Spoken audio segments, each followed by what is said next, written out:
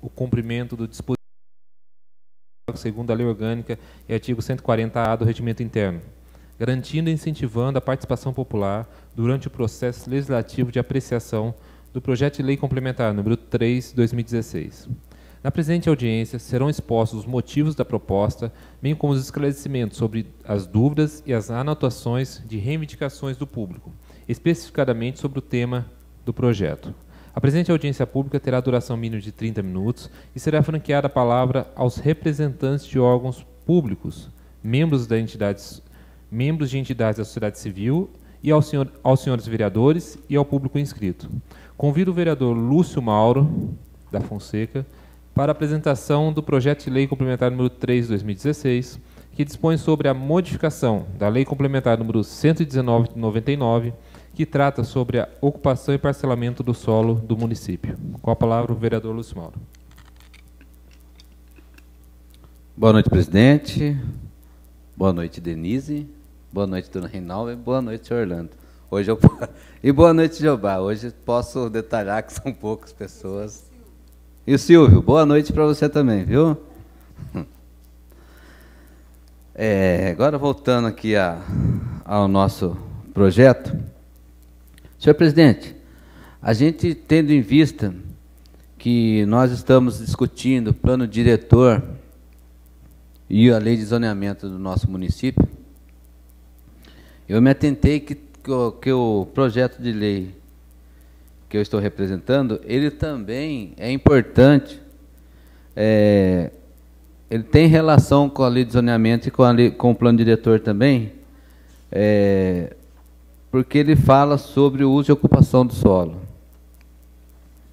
Eu vou ler a justificativa do projeto, senhor presidente, e depois eu explico melhor o que está sendo feito. Nobres vereadores, público presente, esse projeto de lei tem a finalidade de adequar nossa legislação à legislação estadual e federal, por meio do Código Florestal e demais resoluções. Essa nossa lei, senhor presidente, ela é de 99 também. É, ela teve algumas alterações e o Código Florestal é, estadual e federal ele é novo. Então ele está confrontando com a nossa lei municipal.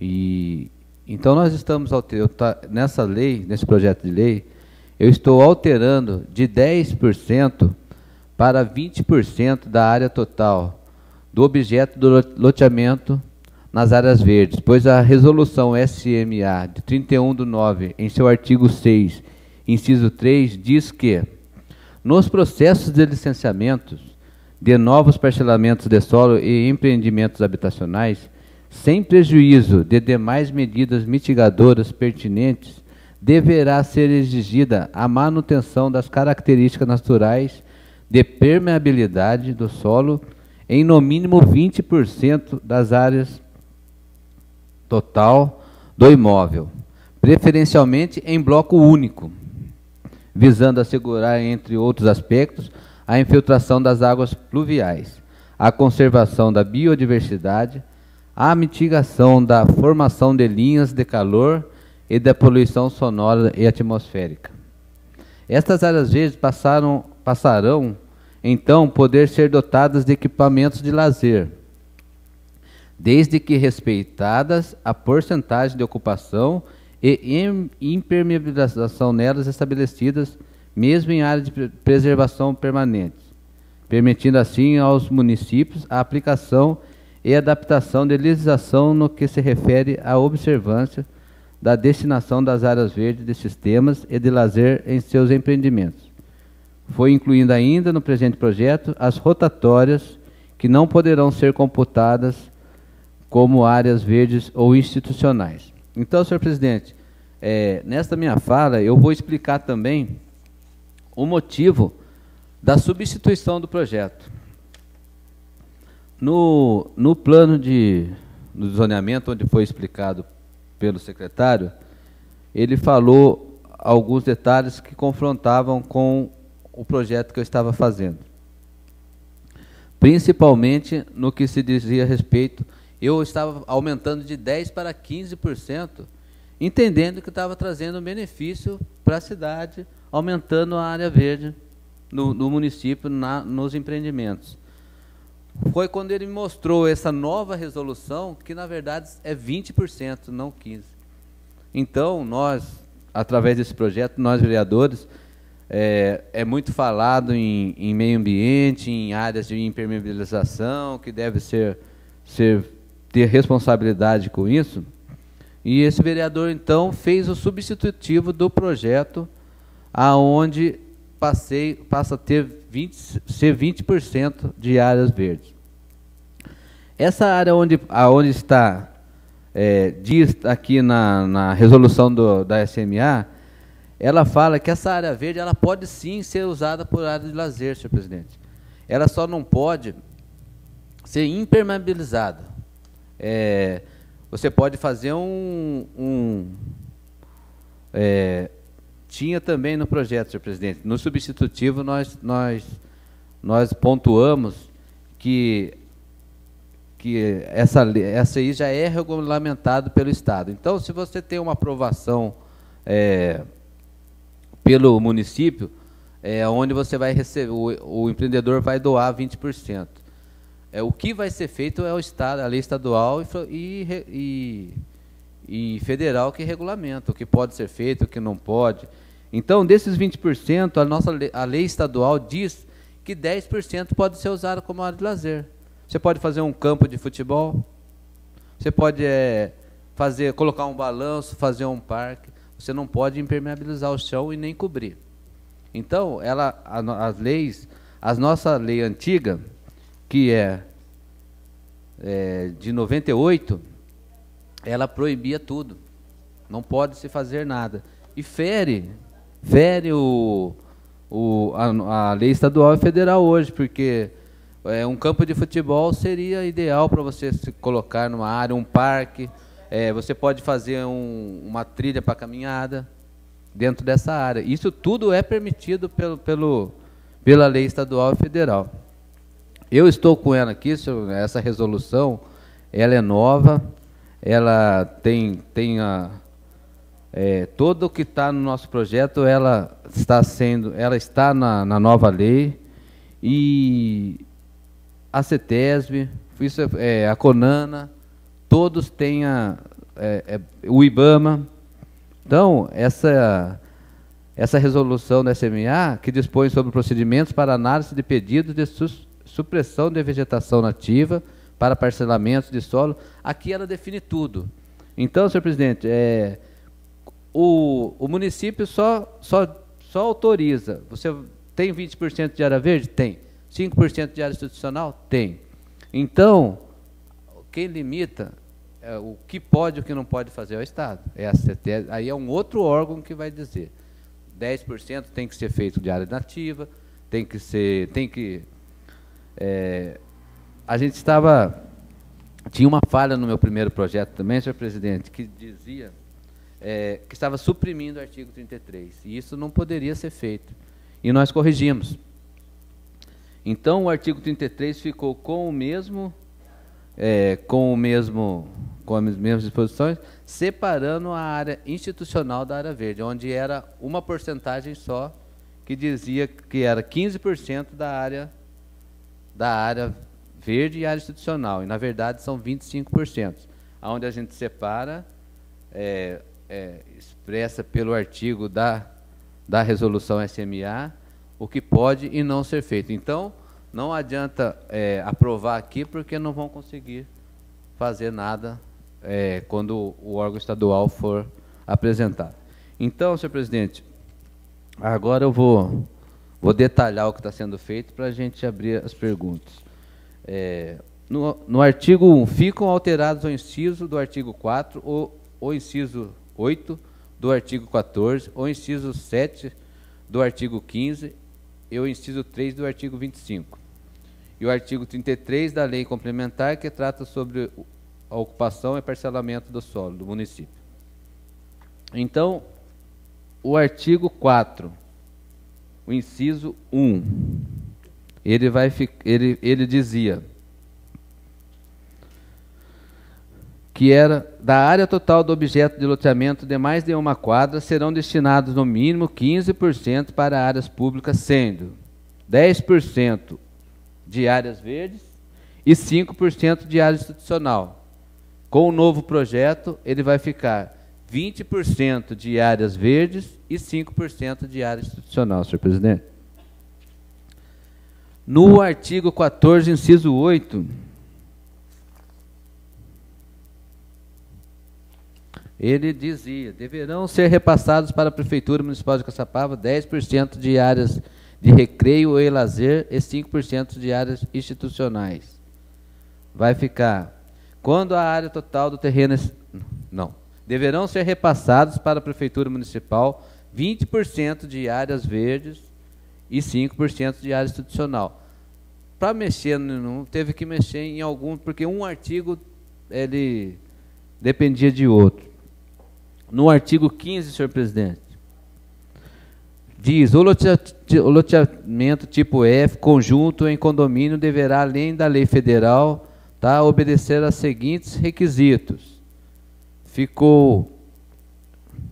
Ele dizia: quando o total da área do terreno exceder 20 mil metros quadrados, as áreas correspondentes às áreas verdes, 10%, e institucionais, 5%, serão consideradas indivisíveis é onde nós colocamos que, que não pode ser fracionado as áreas. E de uso público e externa, e que será condominal. Então, senhor presidente, para não termos aquele problema que aonde é doado dentro de um condomínio fechado a área institucional.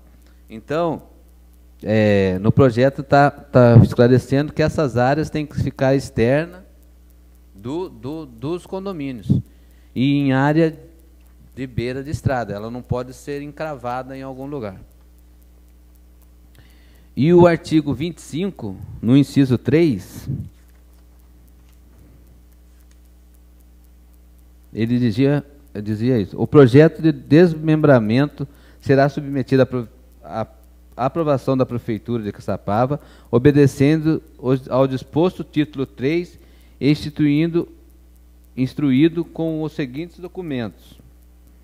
O artigo, o inciso 3 dizia que era 15% de área total da gleba a ser desmembrada deverá ser destinada à implantação de área institucional e área verde conforme o artigo 4. Então, nós estamos mexendo nisso porque ele diz que é conforme o artigo 4, a gente tem que alterar também. E, dá, estamos é, complementando, senhor presidente, que, que ele não especificava a área residencial e industrial. Então agora está ficando, da área total da gleba a ser desmembrada deverá ser destinada à implantação de área institucional de área verde, conforme o artigo 4, somente quando a utilização for por uso residencial, senhor presidente. Entendeu? Porque nós não, não temos como uma indústria a gente cobrar essa área institucional. Estamos mantendo só é, a área os 25% que é, mas não pode ser colocado dentro do, do, do empreendimento fechado. E o artigo 33, senhor presidente, para efeito do cômputo das áreas institucionais, não serão considerados aqueles sobre linhas, as linhas ferras de, fer, de alta tensão, extra alta tensão, faixa de domínio de estrada e sistemas viários não edificados e de rios e córregos, áreas de preservação ou recuperação ambiental. E para o cômputo das áreas verdes, somente não serão considerados aqueles sobre as linhas férreas de alta tensão e, e estrada, entrada de, de, alta tensão, faixa de domínio e, e de estrada do sistema viário. Nós estamos tirando o quê? É onde diz que não pode ter área de lazer no, no, na área verde. Eu acho que que isso é importante sim. Né? Nós temos, podemos ter parques dentro de condomínios onde, onde é, pode ser usado para fazer uma caminhada, para se fazer um, um, colocar um balanço. Isso nada era permitido e a gente está. A nossa lei confrontava, senhor presidente. A gente tem alguns, alguns empresários, algumas pessoas que procuram o nosso município e a lei e as nossas leis não estão em concordância. A gente precisa, o que nós estamos fazendo, se for do entendimento dos novos vereadores, é adequar nossas leis às regras estaduais e federais, mas dando condições da cidade ter é, concorrência com outros municípios. Porque nós não podemos é, é, é pensar num sistema de meio ambiente para nós só, onde empresários, onde é, construtores virão investir na nossa cidade, acharão dificuldade e, e para procurar outros lugares. Nós, então, nós estamos atendendo nossa lei estadual, nossa lei federal, estamos atendendo o Código Florestal, mas estamos dando condições que, que nossa cidade é, tenha condições de competir no desenvolvimento aí, é, sustentável. Essas são minhas considerações, senhor presidente, e fico à disposição.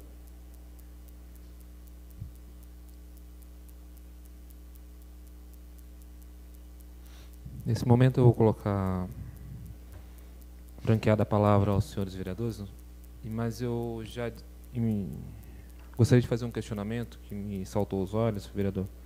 É, com relação ao artigo, para, o artigo 2 do substitutivo, ele fala assim, fica suprimido o parágrafo único do artigo 33 da lei complementar. Não, é o não é o artigo, é o parágrafo único. Então, fica no, suprimido o parágrafo é, único. Mas no, no, no, no, no projeto eu estava suprimindo o artigo 33. Então, mas é, o parágrafo único. O senhor está com a lei, Não, eu, a lei 119 aí? É, eu estou com a lei 119. Dá uma olhadinha, procura o parágrafo único do artigo 33.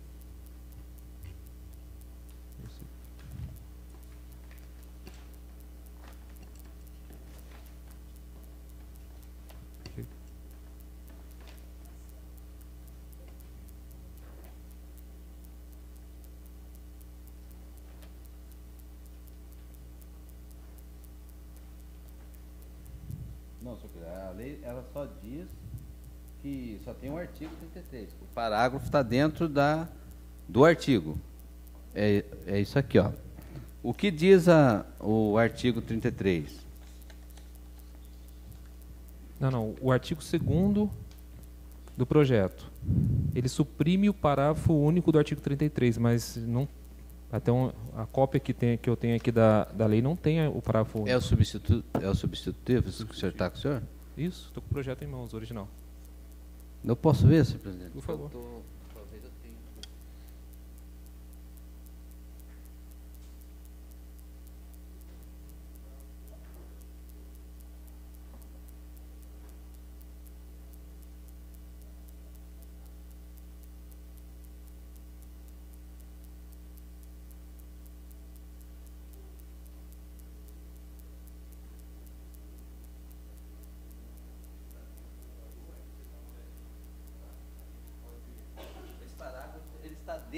Artigo, não.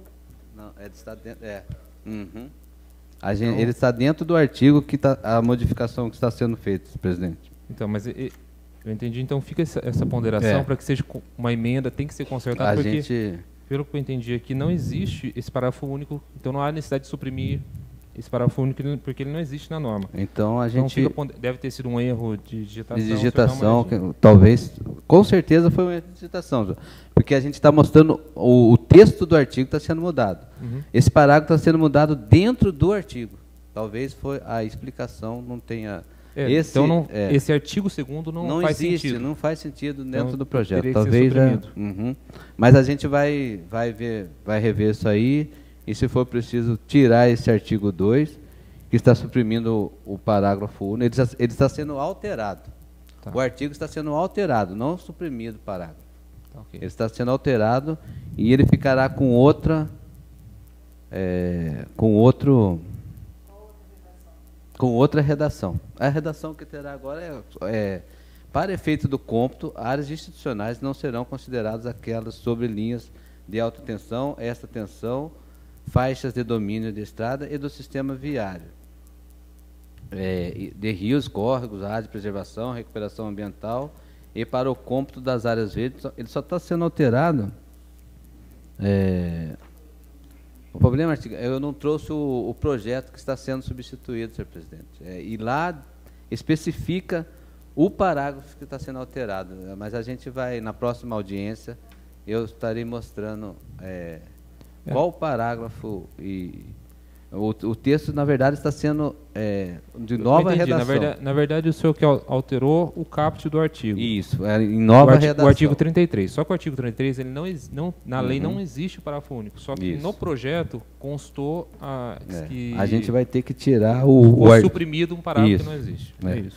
Então, a gente, o que faltou no artigo é nova redação, senhor presidente. Tá. É. E eu gostaria também de alertar, até para... Senhor presidente, ficar... no, no meu está com nova redação na, meu, na minha explicação aqui, na minha cópia, está com o projeto, então, o projeto original. Eu acho tá, que tá faltou casa. a digitação do original, porque ele está com nova é esse aqui que tem. Tá, na, na, na tem segunda audiência consertado. a gente já vai estar alterando. Tá. Mas é. Foi. É. Uhum.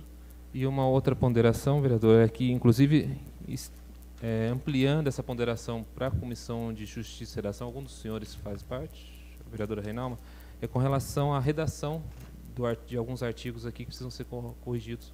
Uhum. Erros de digitação, mas tem alguns, certo, certo. alguns, uhum. alguns algumas é, frases e palavras estão com alguns erros de digitação, não e... sei se na ah, urgência ah, na... de fazer o substitutivo acabou passando. Na verdade, okay. na correção do, do, do, projeto, nós fizemos ele num prazo assim meio... Hum, estava no limite das cinco horas para entregar e, e, a gente teria que fazer substitutivo para poder aproveitar essas duas audiências públicas. Porque qual é o objetivo nosso? É cuidar, não ter despesas.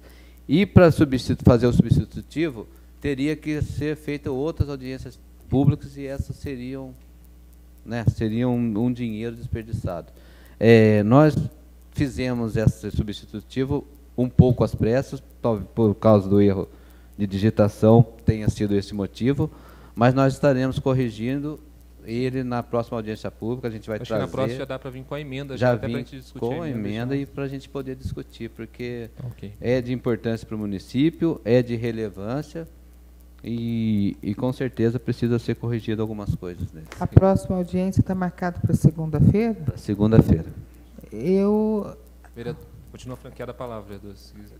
É, eu acharia melhor que pudesse estar apresentando a emenda na terça-feira e que fizesse a audiência após é, a apresentação da emenda, porque nós vamos estar discutindo algo que no projeto que está na casa não está de acordo.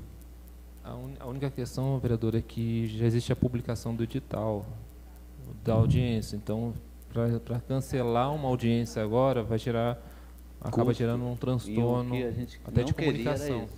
Mas é, é, o, o projeto, vereadora, fica à disposição para essas correções. Não, é. Tá, Ela pode ser protocolada na casa já na essa semana. Tá, tá. A gente vai fazer essa correção e eu queria dizer também que Mas no meu entendimento, é, vai se fazer uma audiência de algo que ainda não foi deliberado. Não, mas aí nós podemos fazer uma nova audiência. Ah. ah o, o, a, é, eu não posso. a lei não, a lei não permite que nós fazemos, façamos menos que duas, mas não. mais não há problema. Então, no meu entendimento, eu acho que tem que se fazer uma outra audiência já com o projeto de lei totalmente adequado. Sim. E nós estaremos também, senhor presidente, hoje o, o secretário do Planejamento e o... Só, só consta em ata essa solicitação da vereadora. E o, e o diretor, que estaria presente hoje, é, me ajudando nessa explanação, falando mais sobre o, as leis federais e estaduais, é, não puderam participar, pediram desculpa, mas eles estarão presentes na segunda-feira aqui, para esclarecer qualquer dúvida que tenha é, também relacionado ao que diz o nosso plano 119, o nosso, nossa lei complementar 119, e, e detalhando mais o meu projeto, que eles também entenderam que é muito importante, é, me ajudaram em alguns detalhes que precisavam ser corrigidos, Mas, como eu falei, eu queria ganhar tempo para não, para não perder essas duas audiências públicas. Nós comentamos sobre isso. É, né, a gente tem que tomar cuidado, sim. Nós estamos responsáveis com, com o dinheiro público. É, seria normal, o vereador poderia até pedir o cancelamento para fazer, marcar uma outra data, mas seria mais despesa para a Câmara e eu não, não vi necessidade. E a audiência pública é para corrigir mesmo. Então, dona Rinalma, a gente é, vai fazer da melhor forma para que corrija é, essas falhas que tem no projeto. Mas a intenção e o objetivo do projeto é, é melhorar e é adequar nossa cidade aí é, ao, ao que diz o Estado, ao que diz a União e, e que dê segurança para as pessoas que venham é, investir na nossa cidade. Mais um questionamento, vereador? Eu acho que esse projeto realmente é um projeto é, de grande valia, porque esse ano nós tivemos nessa casa é, um projeto encaminhado pelo Executivo daquele loteamento indo para Caçapava Velha, onde aí no, no projeto do nobre vereador fala que a área institucional será externa. E na casa foi apresentado um projeto que a área externa queriam passar para a interna. Queria fazer uma permuta e eu fui contrária e até por conta que a, existe também na beira, nas margens de rodovia, estradas, existe um recuo. E a área institucional, que hoje pertence a esse condomínio, está totalmente legalizada, dentro da lei é, que o município tem. Mas com a, a, esse projeto de lei, que se Deus quiser se tornar lei, a área institucional não poderá ser interna, porque um parque que é para o bairro, todos podem usar. Agora, dentro de um condomínio fechado, a população ao redor não pode utilizar. Então, eu acho que, além dos 20% da área verde, essa exigência da área institucional ser externa é de grande valia para o município.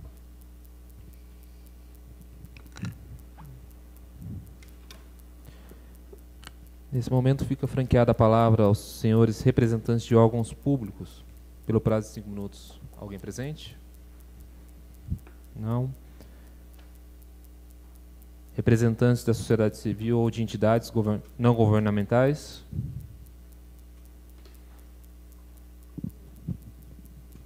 Então, nesse momento, fica franqueada a palavra ao público inscrito.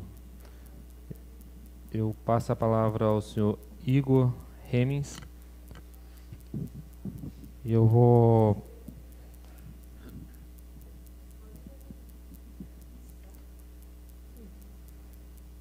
Vereador, a pergunta, depois ele pode, o senhor Igor pode complementar. A pergunta dele é o seguinte: na lei de ocupação e parcelamento do solo, existem propostas para ampliação das ciclovias e planejamento de lombo de. Desculpa, não entendi a, a letra aqui. De bairros autossuficientes. Bairros autossuficientes, perdão. É a letra. Não, é o quê?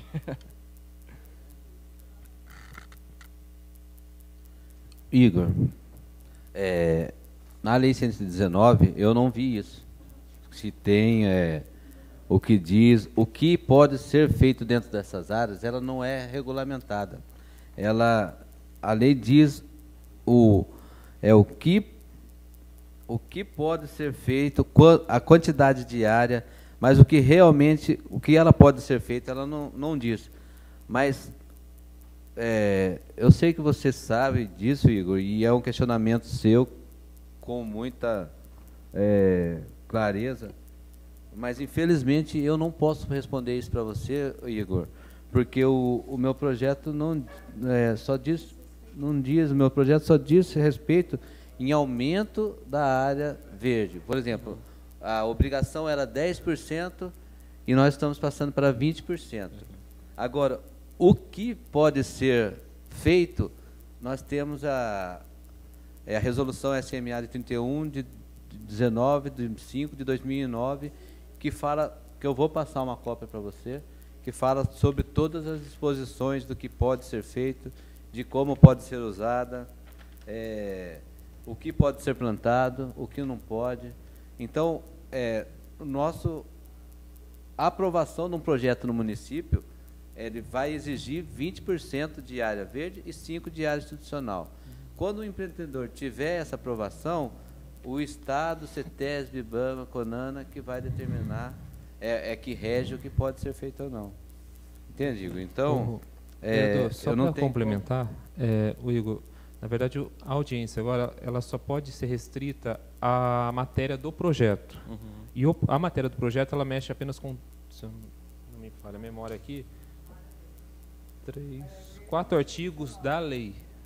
Então, essa, esse questionamento, eu acho que é até interessante, até para os vereadores que estão aqui presentes, ou a gente formular um requerimento ou fazer um estudo na lei para poder te responder. Acho que ficaria mais, é, mais fácil, porque é uma, teria que fazer uma análise na lei como um todo, na lei uhum. toda. É, e aí eu acho que ficaria difícil, difícil até para o vereador responder, por conta de ser estritamente de, de alguns artigos específicos. Então, só para esclarecer, até para facilitar o entendimento. Então, Ótimo. É, na verdade, quando a gente traz essa, esse questionamento, é no sentido de que a gente ouve, a gente fez alguns estudos referente à lei, e viu que realmente não consta na lei de ocupação e parcelamento do solo do município. Então, a gente vem trazer para agregar de alguma forma na casa, para que possa ser pensado é, algo relacionado a isso. Inclusive, aproveitando o momento para citar, a gente protocolou hoje aqui na Câmara e na Secretaria de Planejamento o que a gente veio falar aqui formalmente, é, pediu para constar em ata, com relação a ao plano diretor municipal.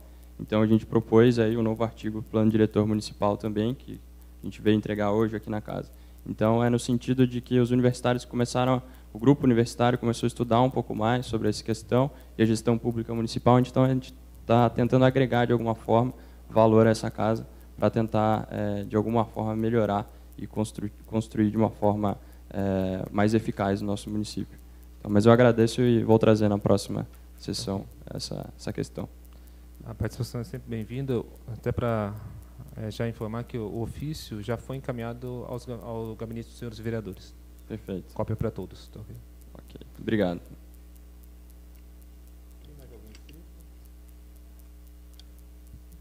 Não tenho mais nenhuma ficha de inscrição do público. Os vereadores gostariam de fazer mais algum questionamento?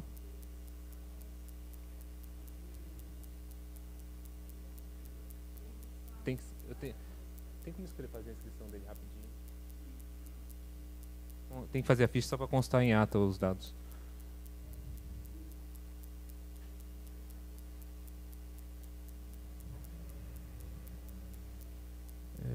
É, perdão, não entendi a letra. O nome. Você pode. pode é o senhor?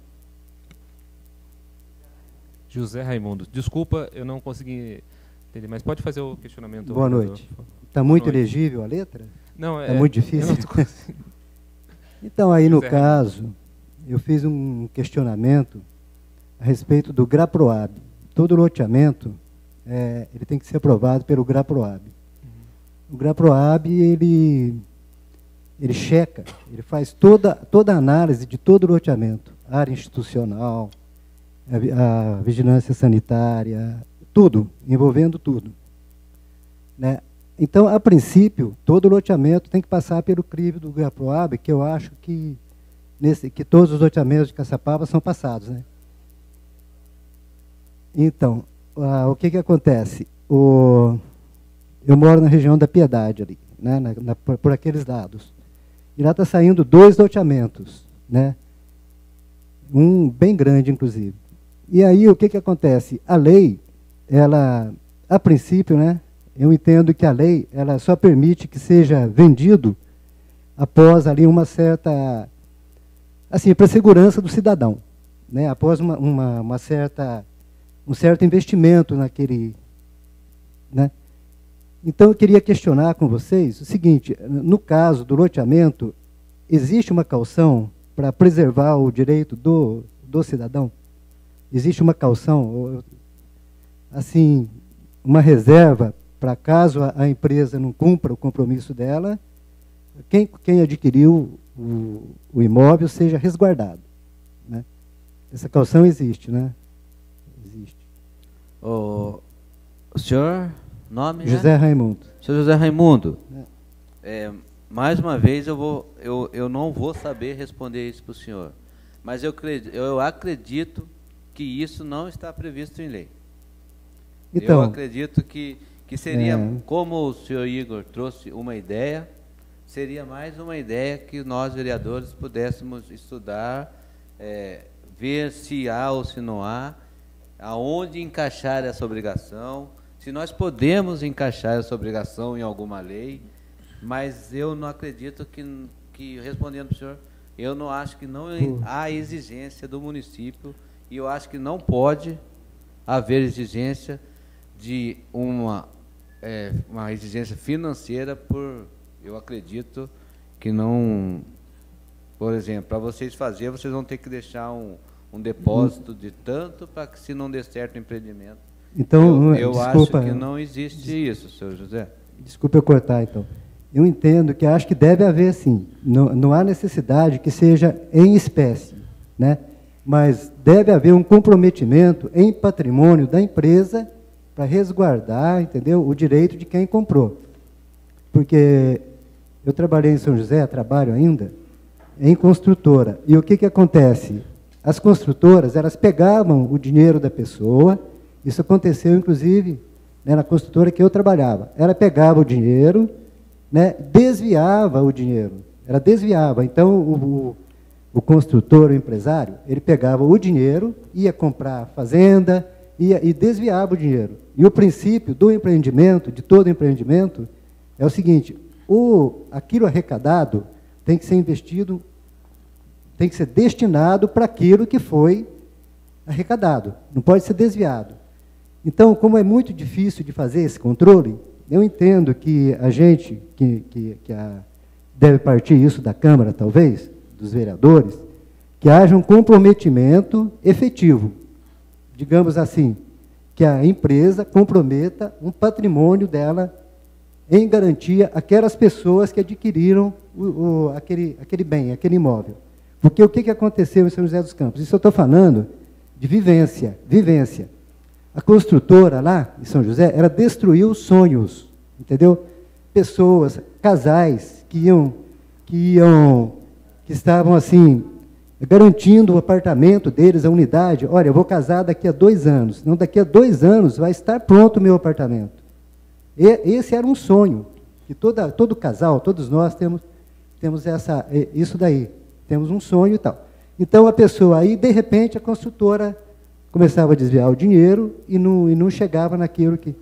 Então eu acho isso aí de, de, de extrema relevância. Né? Assim como eu acho também o que ela é, apontou, a, a, área externa ao condomínio. Isso é muito importante. Porque se, se deixar internamente, as pessoas ao redor não têm acesso. Quer dizer, vai, aquele condomínio vai ser privilegiado por um, né, por um equipamento que, a princípio, deveria ser para todos. Então, eu, eu gostaria, assim, na próxima reunião, de ter uma resposta dos vereadores aqui nesse sentido. Né? Seu Raimundo, eu posso estar é, tá dizendo para o senhor que eu estou aqui na Câmara há 20 anos. A lei de Caçapava era a Deus dará, porque nós temos 73 loteamentos, ou irregulares ou clandestinos. E hoje existe uma lei que obriga o loteador, isso eu não estou falando de construção, estou falando de loteamento. Ah, tá. Loteamento, hoje, é, o senhor mora do lado, do lado da Piedade, é o Real Parque. Ecoparque. Não, Ecoparque. Hum, mas o esse Eco... já está terminado, está é, bem, bem feitinho, estou então, acompanhando. Hoje, é, a prefeitura exige que os loteamentos eles coloquem é, iluminação, coloquem sarjeta, guia. A infraestrutura, é. né? Então, porque depois a administração pública não vai ter dinheiro para fazer o que o loteador teria que fazer. Mas isso, vereadora, é obrigação do loteador. Do loteador. Mas como não havia uma fiscalização no município, os loteamentos foram surgindo. O senhor sabe que lá para o lado da Piedade tem um monte, né? tudo sem nenhuma infraestrutura. E isso onera o bolso de todos do município, porque um dinheiro que poderia ser aplicado em saúde, em outras é, educação, acaba tendo que ser aplicado naquilo que o loteador teria que fazer. Então, hoje, os loteamentos em Caçapava estão é, tendo, é, obedecendo à lei. Tem que já surgir com infraestrutura. É, concordo plenamente. Só que é muito difícil de haver a fiscalização. Então, essa calção é que vai garantir. Porque a pessoa começa a fazer e a vender. Né? Vender, o empresário ele vai vender, vai arrecadar. Tudo bem, ótimo, não tem problema. Porém, tem que ser resguardado o direito daquela pessoa que comprou. No porque esperança. a hora que o problema senhor, explode. Só para complementar, o senhor José, na verdade, até fica a critério Posso, posso trazer essa resposta para o senhor José na próxima. Não é para mim, próxima... não, é para toda a população. Sim, mas é principalmente porque o questionamento veio diretamente do senhor, mas tá. ele é extensivo para todos. Sim. É óbvio, até porque tá. a audiência é pública. Ótimo. Mas é, eu acredito que isso, que essa, esse questionamento ele pode ser respondido pelo Código Civil. O Código Civil já existe algumas, algumas previsões na obrigação de fazer, que inclusive já deve ter previsão legal quanto a isso e, e ver também se o município ele tem competência para legislar nessa, nessa esfera, se não é competência estadual ou federal. Então tem que fazer essas duas análises. Eu gostaria até que Vossa Excelência, como é autor do projeto, já fizesse essa, essa análise para trazer essa resposta, inclusive, para todos, não só para o senhor José. Eu agora, acho muito importante até para nós mesmos que temos alguma dúvida nessa pergunta do senhor. Eu, eu sinceramente, não sei. Porque quando a gente vem para explanar um projeto, a gente vem preparado para ele, para as perguntas relacionadas a ele, e, Não, e quando claro. desvia o assunto, a, o senhor acaba desmontando né, o, o explanador aqui do, do projeto, a gente perde o foco. É, o senhor está coberto de razão. Nós temos hoje Vilagem das Flores, em situações difíceis. Eu posso citar, como a vereadora citou, alguns outros é, loteamentos. Vilagem das Flores naquelas condições. É, a gente sabe aquele. Mas eu, eu entendo, desculpa cortar novamente, eu entendo que isso daí é, é normal, porque a, a audiência existe just, é, é, justamente para isso, hum. para corrigir as deficiências e para acrescentar. Agora, isso. mesmo que não seja da esfera do município, eu entendo que o município tem que se envolver, tem que se envolver de uma forma ou outra, cobrando de quem tem que responder sobre isso, porque depois que acontece o problema, daí vai aí aquela pessoa, aquele munícipe, aquele, né, é, vai estar desamparado. Daí é onde a, a, a população é, ela se expressa da seguinte forma: eu fui em tal lugar, ninguém, eu fui no vereador fulano, ele não resolveu. Eu fui no presidente do ele não resolveu. Eu fui no prefeito, aí ninguém resolve. Então a gente tem que agir com, com prevenção. Eu entendo que é com prevenção assim, digamos, até muitas vezes até recorrer ao Ministério Público, porque isso é uma a venda de imóveis ilegais de forma ilegal é um crime civil, inclusive. Civil não, criminal, que gera inclusive prisão, né? Agora, isso daí tem que vamos evitar isso, né? Existem empresários sérios, a gente Senhor José, é por isso que nós precisamos de leis claras. Nós não precisamos de leis que tenham 200 páginas. Sim. Nós precisamos de várias... lei que tenha duas páginas, mas que seja respeitada. Objetiva, né? Nós precisamos de nós, por isso que hoje nós estamos aqui é, discutindo o plano diretor nessa casa, estamos discutindo o zoneamento e através disso me alertou esse, é, estou me atentando para que se coloque a lei 119 na mesma concordância. O que, que diz a lei 119 mesmo? Não... É a Ela... lei de uso e ocupação do solo, né? Tá, genérica, em geral, né? É, é. Ela, Como não, que a gente tem é bem, acesso ela é bem a ela? específica a ela está que... no Pelo site. Está no site da Câmara à disposição. Então, senhor, é, Lei essa, 119, né? Essa legislação, esse mandato, Isso o senhor pode ter certeza que nós, vereadores, estamos preocupados e estamos discutindo todas as leis através de audiência pública, né, que voltou a ter no, no início de 2013. É, nós estamos preocupados, sim, é, em discutir as leis, fazer leis mais claras. Nós, nós herdamos alguns problemas no, no município, né, de, de, de, de autorização que foi dada, depois foi retirada. Nós temos um cidadão aqui que pediu uma.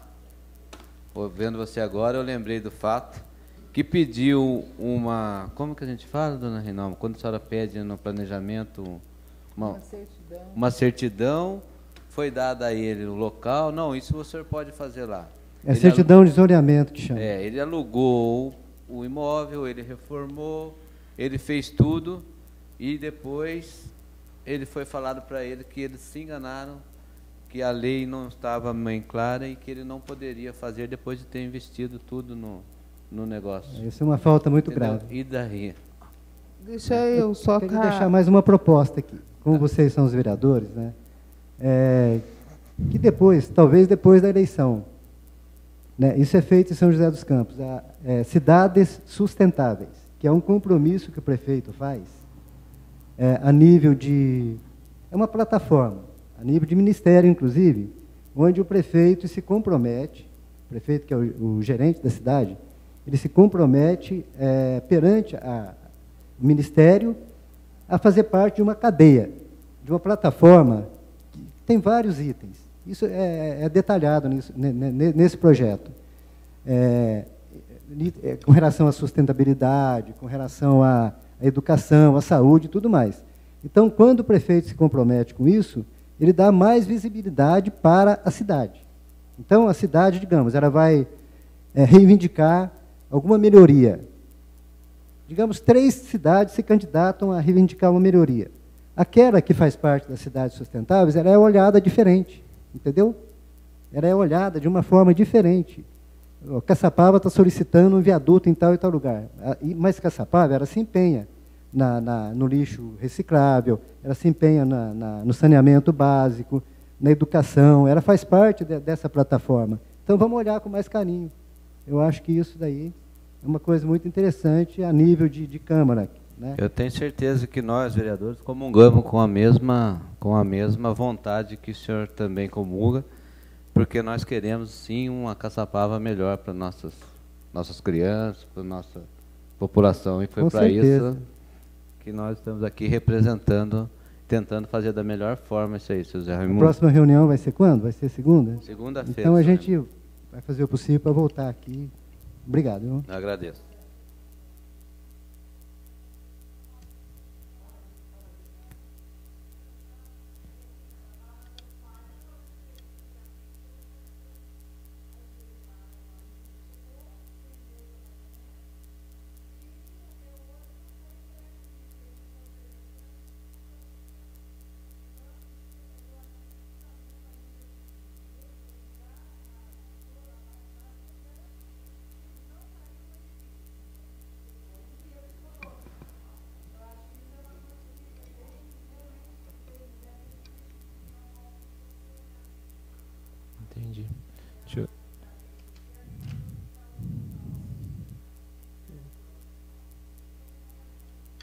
Atrás da Fusan. Só, só para só para cumprir o, o regimento, é, os vereadores gostariam de fazer mais algum questionamento? Tá, então declaro encerrada a presente audiência e uma boa noite a todos.